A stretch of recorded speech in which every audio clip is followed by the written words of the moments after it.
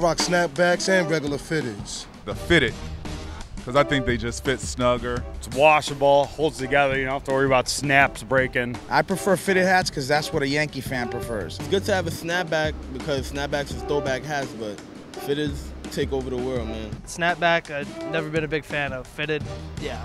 I just like fitted. It feels better.